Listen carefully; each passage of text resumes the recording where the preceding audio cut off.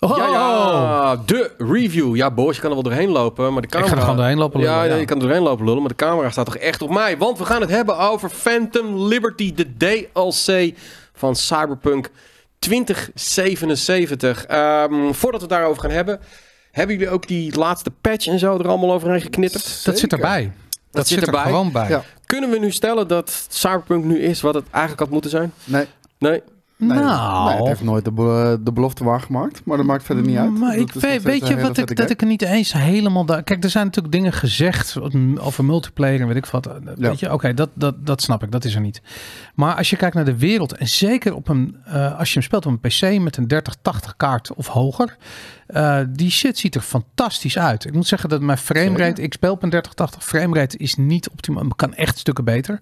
Maar goed, ik snap het, 3080 is natuurlijk ook een hele oude, oude meukkaart tegenwoordig, maar ehm, ik, vind, ik, ik heb toch wel, ik ben echt zo onder de indruk van die wereld, man. Die wereld is zo vet.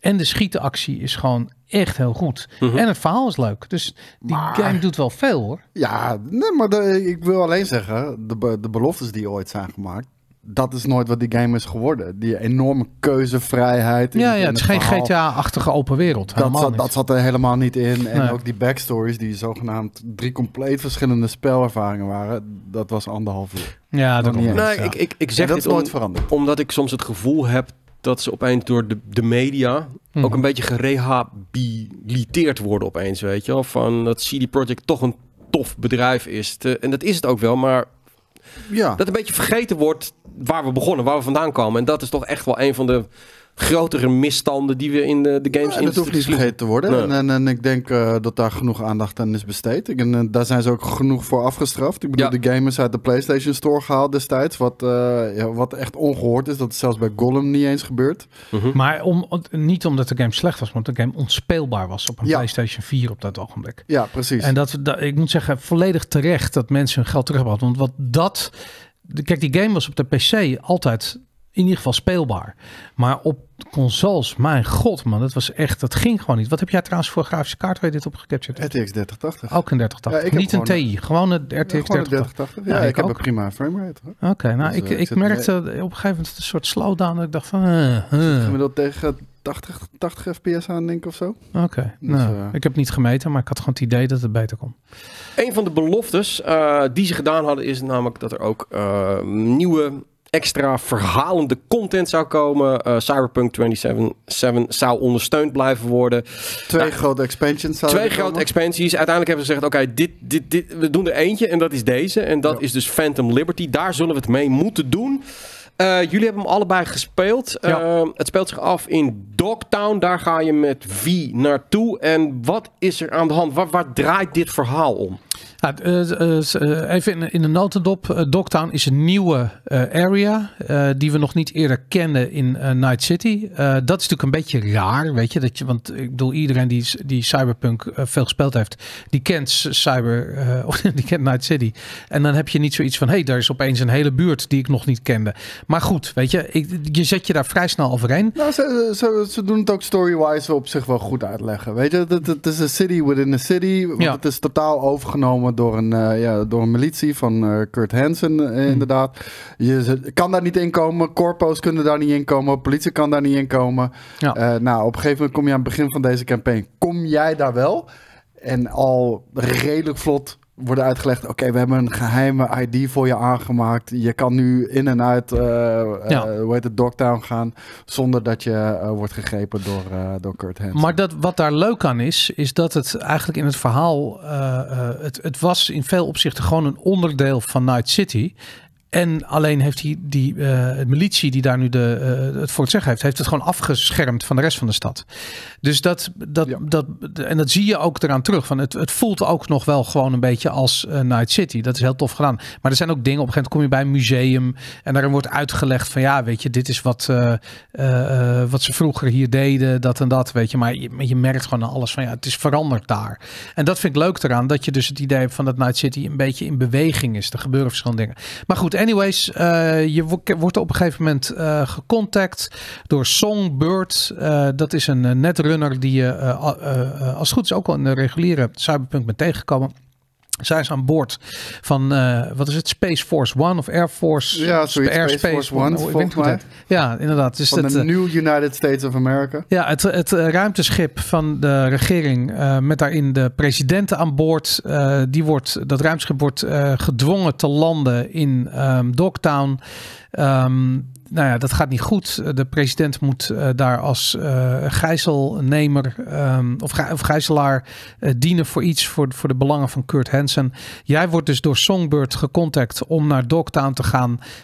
de president te bevrijden uit de klauwen van, van de troepen van Kurt Hansen en um, haar naar veiligheid te escorteren. Nou, allemaal redelijk recht toe recht aan. Um, het wordt gebracht als een beetje een privé detective verhaal beetje uh, film noir. Spy thriller. Ja, spy thriller, een spy thriller noemen ze het inderdaad. Nou, ik vind het wel grappig. En, en ik denk dat het, uh, uh, het verhaal ontvouwt zich op die manier. Het zijn 15 missies. Um, er zijn ook nog 17 side missies. En dat, um, ja, dat voelt wel echt als een nieuw avontuur. Ja, ja, nee, zeker weten. Het is in totaal ongeveer 30 uur aan content. Ik denk toch wel dat veel mensen uh, hadden gehoopt dat dat wellicht iets groter zou zijn. Ja. Als je ook die ja. expansions kent van onder andere Blood and Wine DLC natuurlijk uh, van The Witcher. En, en de andere expansion, ik weet heel even niet meer hoe die heet. Maar dat, dat waren echt volwaardige single-player games. Nou, nu is deze ook lang genoeg. Als je puur bezig gaat met de main story erbij, dan denk ik ja, zo'n 20 uurtjes mee bezig. Wil je alles doen, dan, dan, dan zit je ongeveer op zo'n 30. Maar het mooie hiervan is dus wel, dit valt ook gelijktijdig met de 2.0 update. Die verscheen eigenlijk al vorige week voor de mensen die hem, uh, die hem op de PC en de, en, de console zo hebben. En um, deze game kan je, de, de base game, uh, zeker met de 2.0 update, is absoluut de moeite waard om nog een keertje te gaan spelen, want het is een andere ervaring. En uh, samen met deze, je kan ze door elkaar heen spelen. Ze zijn gelijktijdig speelbaar. Dus het is niet alsof dit zich voor uh, of na het verhaal van Cyberpunk afspeelt. Nee, dit speelt zich gelijktijdig af. En het is aan jou hoe je dat uh, volledig wil invullen. Je, je kunt niet, als je, ja, je moet zeg maar, als je nog niet Cyberpunk 27 hebt, dan heb je ook niks aan de DLC. Je moet ze eigenlijk allebei hebben. Ja, ja, ja, ja sowieso. Ja. De DLC is alleen speelbaar met de base game. Precies. Um, ja, bracht het nog iets nieuws? Of was het eigenlijk gewoon meer van dat wat je vet vindt in Cyberpunk? Nou, je merkt wel gewoon, um, die game is gewoon te vroeg uitgebracht. Uh, en Infamous, uh, in, in, die, in die eerste trailer van ze, waarin ze zeiden... Uh, weet je, it will, it will launch when it's finished or, of whatever. Ze hadden nog geen release datum, omdat die shit pas, pas uitgebracht zou worden als het af is. Nou, dat is uiteraard niet het, niet, niet het ding geweest vol bugs, uh, glitches. Uh, maar vooral wat je ook merkte is dat uh, er waren, denk ik, twee hele sterke missies met, met, met echt invloed op het verhaal. Als je bepaalde keuzes maakte. En, en die je dus ook op verschillende manieren kon aanvliegen. En dat was het wel een beetje. En, en ook de, de level design ja, liet een beetje te wensen over. Dat is nu wel allemaal beter. vooral de verhaalvertelling hier is een stuk Misschien enerzijds soms wat li. Het voelt af en toe echt als uh, zo'n rollercoaster ride uh, in een Call of Duty campaign aan. Maar andere, andere momenten heb je toch ook wel wat meer de vrijheid om een missie aan te pakken zoals je zelf wil. Maar het komt daardoor ook een stuk cinematischer over. En ik, ik vond dat ja, qua immersion vond ik dat uh, enorm vet. Ik, ik had nog iets anders. En dat is dat ik, ik heb die game natuurlijk, uh, ik heb hem gespeeld toen hij uitkwam. Dat is inmiddels volgens mij drie jaar geleden, uh, eventjes uit mijn hoofd. Um, ik zal het even opzoeken. Ja, begin 2021 denk ik. Ja, misschien zoiets. Um, sindsdien is er niet heel veel meer gebeurd. Uh, ik heb de game ook niet verder nog gespeeld. Uh, dus ik, ik startte de game op en ik had echt zoiets van: wow, man, wat is. Ik moest gewoon alles weer opnieuw uitzoeken. Weet je, van, van hoe de interface werkt. Dat gaat wel eens redelijk snel. Maar toch merk je gewoon van ja, het is een vrij grote stap om dat, uh, om dat te gaan doen. Um, je hebt twee manieren om die DLC in te komen. Um, of je speelt de, de, de normale Cyberpunk multiplayer, of uh, multiplayer, dus de, het singleplayer verhaal uit uh, tot, totdat je bij de Songbird missie komt. Um, of je start een nieuwe game op en dan kun je eigenlijk gelijk in, uh, in die DLC uh, terechtkomen. Dan begin je met een level 15 uh, V en dan... Um, nou goed, dan begin je eigenlijk alleen maar dat te spelen. En ik vond dat toch tof, omdat het... Um, Uh, ik heb altijd een moeite met van die DLC's dat je iets in een bepaalde game, dat je er iets moet opzoeken of iets moest doen. Zeker als je ook nog die learning curve hebt van kut. Je moet ook weer even doorhebben hoe alles werkt en hoe je geleveld. Weet je, ik had sowieso dat heb je. Ja, maar dat is wel echt allemaal op de schop gegaan. Ja, en, dat, maar dat is ook. Je, ja. je, al je stats, dus al je perks, die worden gereset. Die mag ja. je opnieuw kiezen. Maar je hebt geen idee wat dat betekent. Dus ik ben, uh, weet ik wel, ik had een, een, een uh, save game gelood ergens dat ik best wel ver in die game ben. Nou, dan krijg ik al mijn perks staan weer op nul. Um, ik krijg natuurlijk, ik, ik, ik ben mijn perks niet kwijt, dus ik, ik kan ze opnieuw indelen. Maar ik heb op dat ogenblik geen idee wat het allemaal doet. Aan de ene kant omdat, ik, omdat er nieuwe dingen zijn. Aan de andere kant omdat ik gewoon me niet meer kan herinneren wat het doet.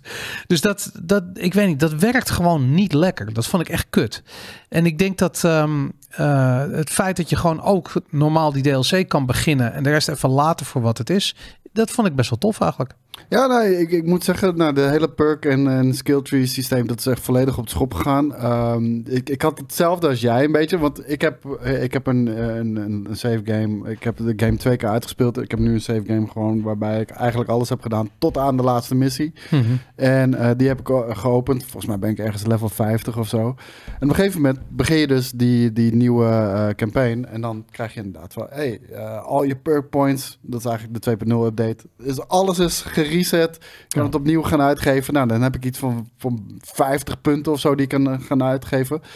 En het is zo verschrikkelijk veel. Ja, net zoveel, dat, ja. dat is wel een beetje overweldigend. Maar het, het vette voordeel daarvan eh, vind ik wel. De manier waarop ze progressie hebben, eh, hebben, hebben nu ja, ge- geüpdate, om het zo maar te zeggen. Mhm. Vind ik wel veel toffer. Ehm, hoe je nu zeg maar beter wordt in de game. Eh, je hebt natuurlijk een aantal specifieke eh, skill trees.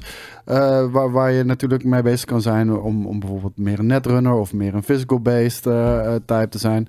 Maar nu is het aan de hand van, van hoe je speelt. Net zoals wellicht Skyrim dat, dat destijds ook deed. Gewoon op het moment dat jij veel schiet, veel headshots maakt. Dan level je ook echt specifiek in die bepaalde discipline. Maak je veel gebruik van quick hacks. Oké, dan level je sneller in die bepaalde discipline. En dan krijg, je- speel je op die manier ook eh, verschillende perks vrij. Ja, nou ja, dat, dat, dat is inderdaad. Ehm, je krijgt ook nog een nieuwe, eh, nieuwe perk tree, of hoe noem je dat? Ja. In je tech tree. Van Iets, de relic. Ja, de, de relic. Wat dat dan precies doet. ehm, nou goed, dat, dat, dat ontdek je eigenlijk naarmate je verder speelt. Daarbij had ik ook weer van ja, je, eh, je bent iets aan het levelen dat eigenlijk eh, eh, pas serieus wordt op het moment dat je de DLC al bijna uitgespeeld hebt. Dat heb ik altijd met, die, met die, dit soort perk systemen. Dat je, je, ja, je bent aan het levelen naar een soort halve god. En tegen de tijd dat je er echt plezier van hebt, is de game al klaar. Weet je? Nou, dat- ik zit dus precies tegenovergesteld erin. Omdat ik dus zo- zo'n save game heb geopend waarbij, waarbij ik bijna alles al heb gedaan. Ik voel me al een god. ja, Zeg maar, ik, ik, heb, ik, heb, ik heb de vetste wapens. Maar dat ben je toch heb- niet kwijt? Dan kan je toch met je level 50 character kan je gewoon hier eh, eh, die, die, die DLC gaan spelen. Ja, maar dat bedoel ik. Van, dus ik voel me al een, al een god. Ja. Ik voel me eigenlijk al een beetje overpowered. Je hebt ik het denk, niet meer nodig. Ik ja. denk de ideale manier om dit te spelen is om gewoon een compleet nieuwe save game te starten. Vanaf het, vanaf het begin en gewoon de main story en deze door elkaar spelen. Ja, Want ik ben al een high level character en ik vlieg er echt doorheen. Nee, het, het, het is absoluut niet Dat moeilijk. is wel bizar, want het is een RPG. En een van de leuke dingen van RPG's is namelijk dat levelen. Dat je ergens Ja. naartoe werkt op het moment als je dit verhaal dus kan uitspelen... zonder dat het level er eigenlijk echt toe doet. Nou, dat levelen heb ik al gedaan. Ja. Het, doet, het doet er wel Nou, je degelijk kan nu toe. wel, want je bent tot level 50, dat is Mhm. het maximale level van Cyberpunk. Maar dat, je kunt nu tot level 60 doorlevelen. Ja. Dus dat is nieuw. Ik zie dit nu even voor me hoor. Dus ik wilde gelukkig dat jullie stopten met, met praten erin. Want we hebben natuurlijk onlangs Starfield gehad. Waar Mhm. we eh, toch best wel wat eh, commentaar hadden op de graphics en de ook- animaties. Ja, ik wou net zeggen, je ziet trouwens ook dat eh, Keanu Reeves nu veel meer lijkt als, eh, als toen, eh, toen de game bijvoorbeeld net uitkwam. Is, is Phantom Liberty slash Cyberpunk 2077 de mooiste RPG ooit gemaakt? Ik denk grafisch is het wel Ja. de, de mooiste game eh, die je op dit moment kan krijgen. Het is ook echt eh ja, hij bijna een maakt ook- tech demo van Nvidia. Hij maakt ook full-on gebruik van, van, die, van die videokaarten. Weet je? Dus dat had je Ja. eerst, dat je allemaal van die games had. En die, en die het moet ook lopen op een eh 1080, weet je, als je dat had. En, eh, en nu merk je gewoon van nee, 3080 is echt de, eh, weet je, ik denk als je minder dan dat hebt, ga je ook helemaal niet meer deze ervaring hebben. Dus die, eh, deze game maakt gewoon eh, volop gebruik, of eigenlijk 100% gebruik Kijk, ja, het ziet er lijp uit. Ja, het is fantastisch. Het is echt heel mooi. Ja. En, en ik vind eh, Starfield eigenlijk helemaal niet mooi. Dat vind ik echt geen mooie game. Dus dat, bedoel, eh, ik, ik heb dit, ik, ik stel een beetje de vraag, want ik heb dit niet gespeeld. We hebben twee codes gehad en dat Ja. kostte al best wel veel moeite bij, eh, bij de. Polen. Maar ik vind het verschil soms zo moeilijk te verklaren, weet je wel. Het is niet, ik bedoel, wat je ook denkt van Bethesda, het zijn natuurlijk niet een stelletje oetlullen daar, weet je wel. Van, en het verschil tussen de levendige wereld, de detail, de vibe, animaties. Ja, maar het is een engine verhaal. Ja. Kijk, die, die Cyberpunk is natuurlijk een monsterproductie geweest. En heel veel van het werk ging zitten in die engine optimaliseren voor deze game. En dat, ehm, dat hebben ze gewoon heel goed gedaan. Je ziet dat gewoon nu terug, weet je. En het is gewoon die, die wereld is fucking fantastisch. En Maar, maar komt dat ook omdat ze nu af zijn gestapt van dat formale dijden van het moet ook op de PlayStation 4 en het moet ook op de Nee, Xbox want One dit- draaien? Want dit, dit, draait- dit is gewoon nu echt full on next gen. Je hebt gewoon een dikke PC nodig. Ja, maar nee hoor, maar het is ook gewoon op de Xbox, toch? Nee, Dit- nee, nee, nee. De- deze Phantom Liberty DLC niet. Maar de, de, de Nee? main game wel. Ehm, maar het ding is meer dat Starfield ook. Starfield is ook next gen only. Eh, maar het ding met Starfield is, eh, het is inderdaad wat Boris zegt. Het is, het is een hele andere engine die Ja. echt hele andere dingen ook moet doen. Eh, bewijs van, en nee, het is niet bewijs van, dat is zo. Zeg maar in die game, letterlijk elk voorwerp dat je pakt, blijft altijd op die locatie liggen, wat je er ook mee doet. Ja. En, Ja. eh, nou, dat, dat, Dat is wel tof, ja. Ja, dat, dat zit hier niet in. En. Dat kan ook niet met deze engine. Keuzes maken. Ja. ja. Maar bijvoorbeeld, je kan een basis bouwen, eh, een outpost, een Starfield. Je kan eh, je eigen spaceship samenstellen, al dat soort dingen. Ja, dat zit hier niet in. Dus, Maar er dat is iets maar net anders. wat je wil van, van een engine. Wat, wat ik heel erg heb met RPG's is dat eh, veel van. Het, het zijn vaak games die heel erg draaien om de wereld waarin het zich afspeelt. Weet je, tot op het moment dat je kunt afvragen van wie is de ster? Weet je, dat de vraag. Wie is de ster in zo'n game? Waar gaat het echt om? Is dat het hoofdpersonage of is dat de wereld? Soms, soms is dat, weet je. En ehm, eh, bij Starfield heb je het probleem dat die wereld bestaat uit allemaal losse, ja, een soort van aan elkaar geknoopte eh, basissen en planeten en weet ik wat, waar gewoon save games of eh, laadpunten of laadschermen tussen zitten. Mhm. Dat heb je hier allemaal niet. Weet je, Nee. dit, dit voelt zo goed, want je bent gewoon echt in die stad. En omdat je als een soort ehm, geheim agent te werk gaat in die stad, heb je ook echt het gevoel dat de bedreiging is echt. Weet je, ik had ook echt het gevoel van op een gegeven moment werd ik opgejaagd, mijn auto werd kapot geschoten, ik was met die president, ik moest uitstappen, moest rennen, weet je, een overduidelijke missie die je met een auto moest doen. Maar ik had geen auto op dat ogenblik, ik had geen motor, ik kon het niet vinden, alles, het was één groot vuurgevecht. En dat, ehm, eh, eh, weet je, ik was gewoon aan het improviseren en het was gewoon fucking vet. En ik had echt het idee van, ja, weet je, dit is hoe een RPG hoort te zijn. Dat je namelijk, je, je krijgt te maken met problemen die niet helemaal van tevoren zijn ingecalculeerd, maar waar je ter plekke gewoon een oplossing improviseert die dan Mhm. wel of niet werkt. Nou, dat vind ik heel tof. En ik heb dat bij Starfield echt totaal niet. En hier had ik dat gelijk weer wel. Dus het, het, ja, weet je, ik vond het, het, het, het eh, hoe noem je het, het contrast heel groot. Nee, dat klopt. Dat, dat, dat, eh, dat, dat heb je bij Starfield niet. En vooral welke games die dat goed doen zijn Nintendo. Met, met bijvoorbeeld Tears of, the, eh, Tears of the Kingdom. Die heeft precies dat ook inderdaad. Je hebt, je hebt bepaalde scenario's. Nou, die zijn daar dan wel vormgegeven. Maar het is volledig aan jou hoe je dat wil invullen en wil uitvoeren. Ja. Los van of dat de bedoeling is vanuit de developer of niet. Ja, deze game is trouwens wel echt ontzettend donker. Dat is echt, daar werd ik een partijtje gek van op rij. Niet te spelen overdag. Het Ja, is gewoon, ik, had, ik had hetzelfde. Ik, maar ik dacht dat het aan mij te veel lag. nee, ja, je, kan, je kan je hele, eh, je- hoe noem je dat? Je contrast kan je veranderen, zodat het allemaal heel wittig wordt. Dan kan je wat meer zien. Maar ja, dan, gaat, dan, wordt het, dan is de hele vibe weg, weet je. Dus dat, eh, Een van de toffe dingen aan, aan, eh, aan Cyberpunk vind ik altijd dat CD Projekt Red erin geslaagd is om, ik noem het dan maar even Hollywood een beetje te integreren in die game. Hè? Met, eh, met Ja. eh, Keanu en eh, nu zit Idris Elba erin. En wel op een leuke manier. Ik hou niet zo Fucking cool. ik hou niet zo cool. van, van Call of Duty en nu heb je dan ook de Tomb Raider of, of een bepaalde rapper die je dan kunt spelen. Maar echt van alsof die gewoon een rol speelt in, in, in deze eh, game. Hoe, hoe zit dat met Idris Elba? Is dat ja, tof? die- die- ja, maar de- kijk, hij speelt een verhaal als personage in de game. eh, Mhm. maar, eh, of hij speelt een personage in de game, onderdeel van het verhaal. Maar hij heeft eh, volgens mij zijn stem ook geleend aan een radiopersonage. Oh, dat zou kunnen weten. Ja, dat, dat dacht ik, dat, eh, dat hij dat is. En dat, dat soort dingen vind ik gewoon heel tof. En we- weet je, het verhaal is gewoon goed. Het zit goed in elkaar. En, en dus ook En Idris dat soort is een fucking vette acteur. Ja. En, en hij neelt deze rol. En, en dat is over het algemeen wat je... Wel de laatste jaren meer en meer. Maar gewoon dat er erg goed geacteerd wordt in, eh, in, in, een, eh, in, een- in een videogame. Ik vond haar slecht, man. Haar? Ja, die, eh, die, die president. Wat een irritant personage was dat. Daar had ik echt bij. Gewoon omdat ze, ze is een soort ex-military special forces figuur die dan nu opeens president is. En eh, ze begint ook gelijk dat ze je knock-out slaat. Weet je, dan zie je al gelijk hoe de rolverdeling is. En ehm, ja, ik, ik, ik, ik weet het niet, man. Ik, ik, ik, ik, ik, Biden het gewoon niet. Ik vind haar gewoon niet geloofwaardig. Ik vind ook niet tof. Ze is niet grappig. Ze is gewoon, ze is alleen maar kut eigenlijk, weet je. Ga zelf lekker de weg naar buiten zoeken, want ze kan het prima, weet je. Ja, maar ze, ze, ze, ze is volgens mij ook eh, intentioneel kut. Volgens mij is dat ook een beetje het gevoel wat je daarbij dus, moet hebben. Omdat er een twist. Ik, ik had meer iets anders erbij. Maar, maar goed, misschien moet ik daar ook niet te veel aandacht aan besteden. Maar het, het is wel zo'n spy thriller. Ik bedoel, je wordt op het begin eh geïntroduceerd. En trouwens, gedurende de hele campagne word je de hele tijd geïntroduceerd in bepaalde karakters. En je, je zit toch de hele tijd. Oké, kan je deze vertrouwen? Kan je deze niet vertrouwen? Eh, er is een bepaalde driehoeksrelatie van hoe steekt dat in elkaar? En waar zit ik? Ja. en in welke kamp zit ik? En eh, vervolgens heb je dan uiteindelijk ook twee eh, compleet verschillende storylines die je kan spelen qua, qua einde. Dat, eh, dat Mhm. is wel pas richting eh, het laatste act. eh, dat je dat hebt. Dat is super vet. En je hebt zelfs nog een, eh, een, een, een ander einde voor de, voor de main game. Ja. Die eh, hierbij terecht is gekomen.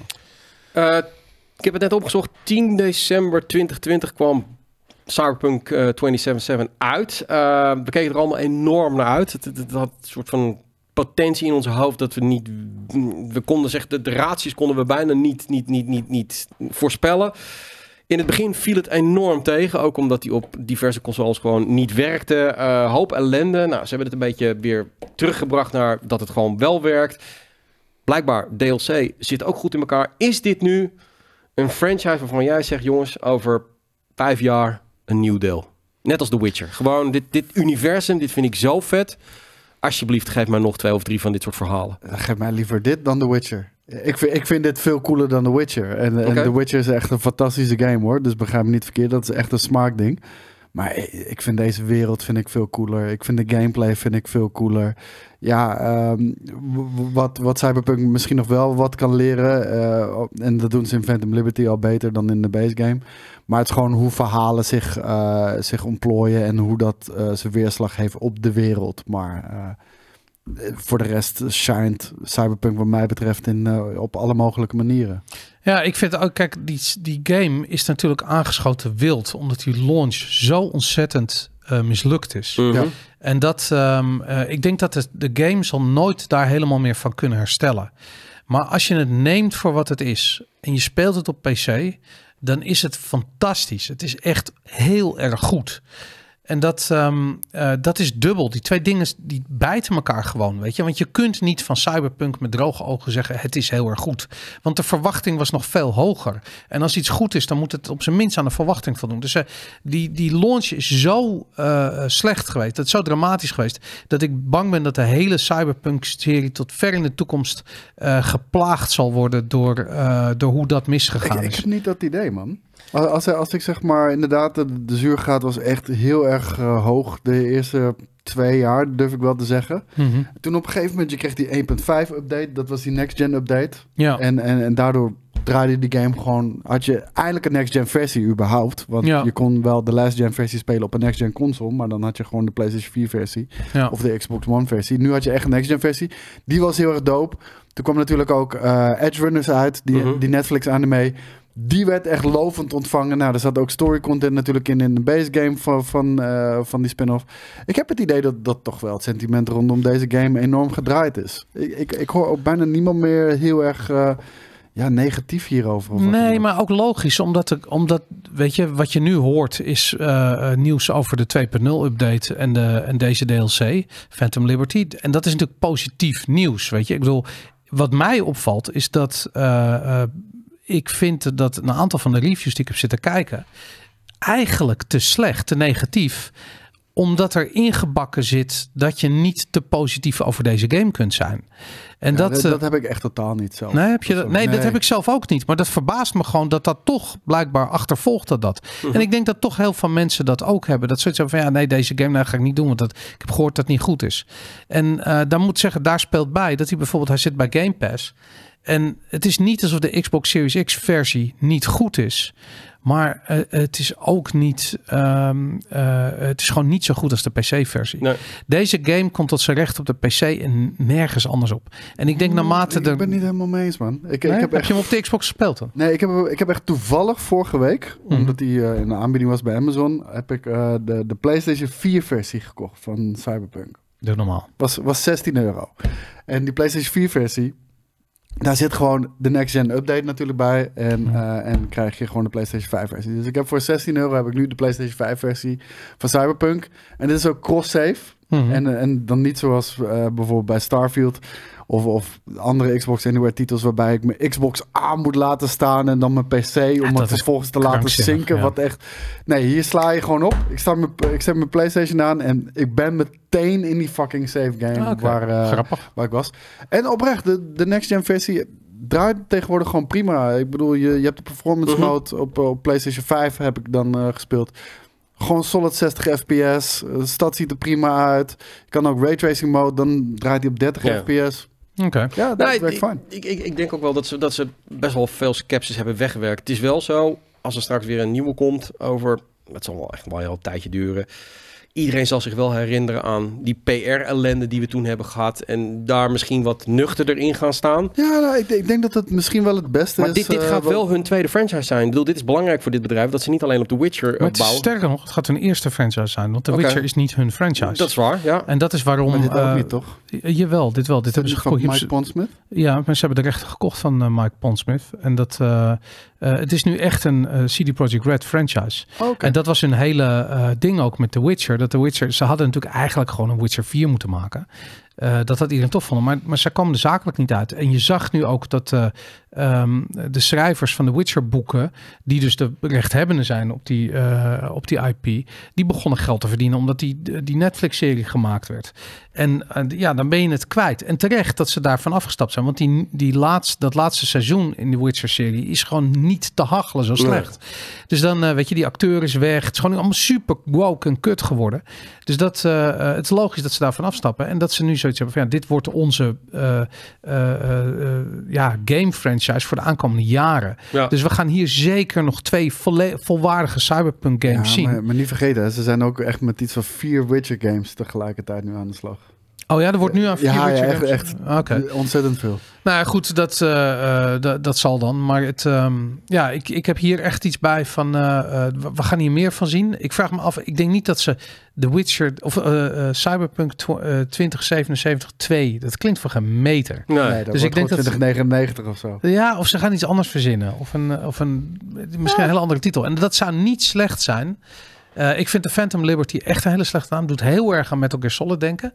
En, ehm, maar ik heb zoiets van, ze moeten daar, ze moeten iets met die, met die marketing PR fixen. Eh, en dan denk ik dat het eh, helemaal goed komt met deze serie. Oké, eh, Phantom Liberty, hij is nu ja, verkrijgbaar voor iedereen die nog een extra stuk avontuur uit Cyberpunk 2077 wil gaan halen.